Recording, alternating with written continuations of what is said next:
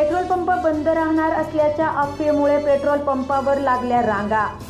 सिल्लोड तालुक्यातील शिवना येथे corona व्हायरसमुळे petrol pump बंद होणार असल्याचे मॅसेज सोशल मीडियावर व्हायरल झाले आणि वाहनधारकांच्या पेट्रोल पंपावर रांगाच रांगा लागल्या.